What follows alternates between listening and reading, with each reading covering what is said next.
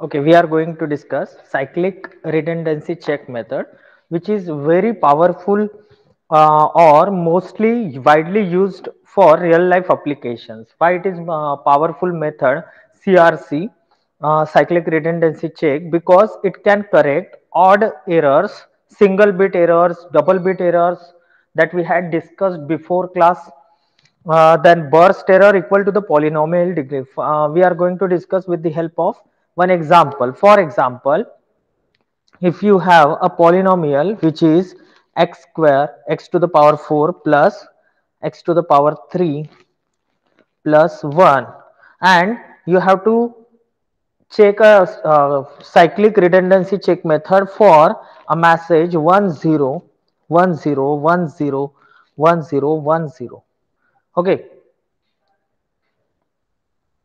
okay so how to use a cyclic redundancy check method? Find out crc bit. Very first what is cyclic redundancy bit? When we transmit any signal not this is this signal is m we are considering m means message signal. We have to transmit it and at the receiving end if we don't get the same uh, received signal then it is called as error occur okay so this message bit we are sending with the help of this redundancy bit. Means we are not sending only this message. We are sending this message plus a redundancy check bits. Okay. So uh, through the example we are going to discuss the redundancy bits and the cyclic redundancy check method. Okay. So our uh, example is 1 0 1 0 1 0 1 0 1 0 so in that what we have to uh, do find out the crc bit first. We have to send some redundant bits with the send bit. That means a total bits we have to send is equals to this message bit plus r m plus r r is a redundancy bit.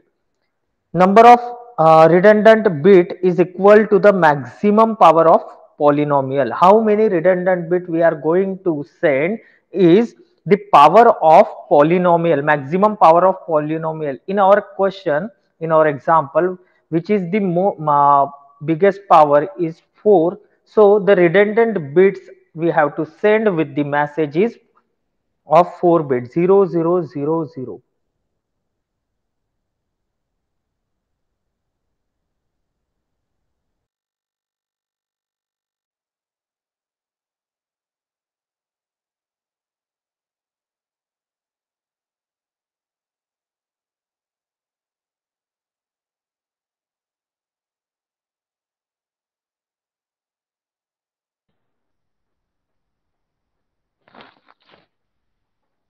in our question we have 1 0 1 0 1 0 1 0 1 0 okay this is the message bits and 0 0 0 0 is the redundant bits. Okay now what is the divisor or uh, divider?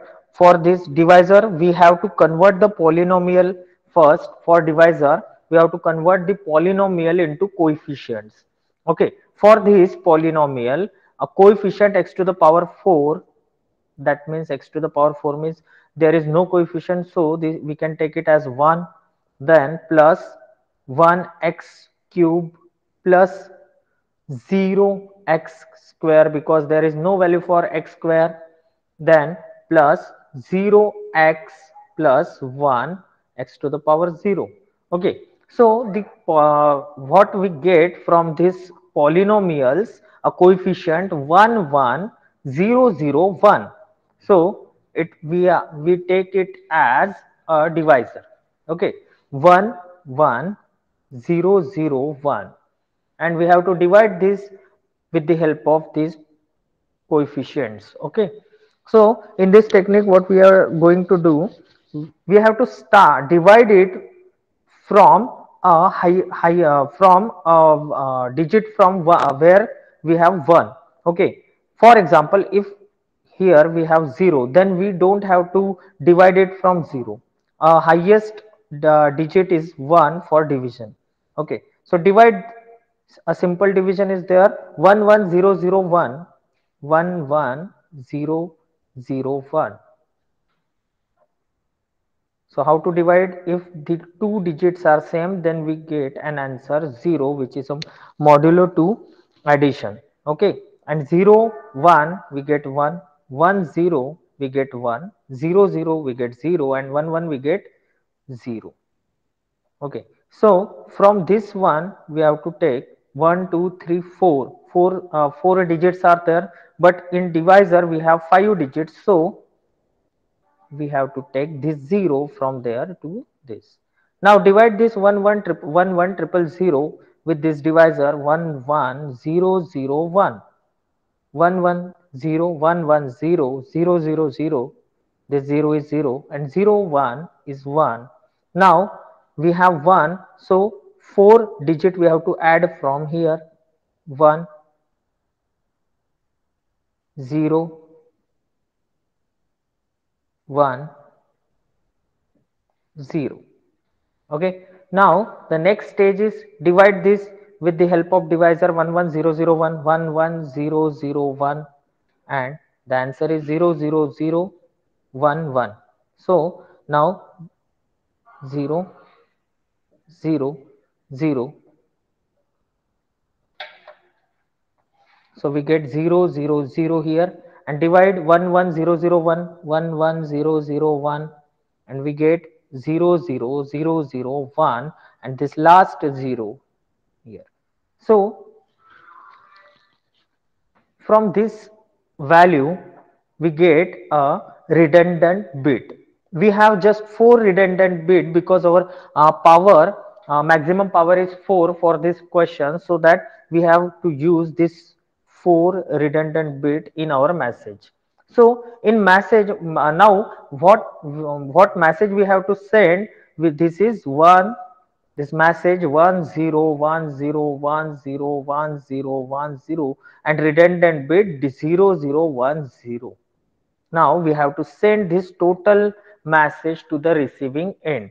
Okay at the receiving end. If the receiver what receiver do?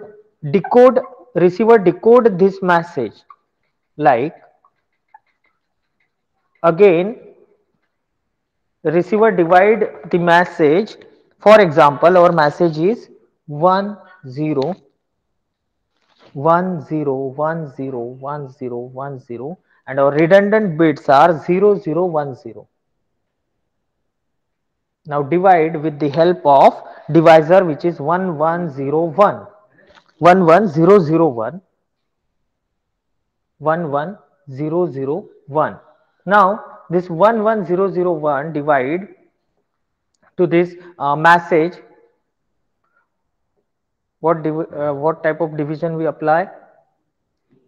So 1 1 answer 0 0 1 1 if it change from 0 to 1 then our answer is 1 1 to 0 change 1 0 0 same so answer is 0 1 1 0 0. Now these are the 4 bit and our divisor is having 5 bits. So add this 0 here. Now divide it with the divisor 11001 11001 1 1 the answer is 0 0 last one. Now add this 1 this 0 because total 5 bits we required. So 1 0 1 4 bits are there and this 0 add this 0 now divide with the help of 11001 and we get 0 0 0 1 1 now add this 0 this 0 this 1 now divide it with the help of 11001 11001 and we get 0 0 0 0 0 and last is 0 so at the output we get a 0 0 0 0 0 at the receiver uh, receiver division method. So that means when you don't you your received output is not a change from sending signal means the send message and received message is same or it is a desired received signal, then your output is 0, 0, 0, 0. Okay, if any bit change from 0 to 1 or 1 to 0 at the receiving end, then your output is not a 0, 0, 0, 0. That means in your transmitting signal, some error occurs or some error happened. So due to such type of uh, cyclic redundancy check method, we can find out uh, what type of errors or what errors are received at the receiving end. So this method is very powerful for all type of uh, correction methods for odd error, single bit error, double bit error, burst error equal to polynomial degree. Okay, so we can find out the errors at the receiving end and correct it also with the help of uh, cyclic redundancy check method. Okay, any question regarding this method?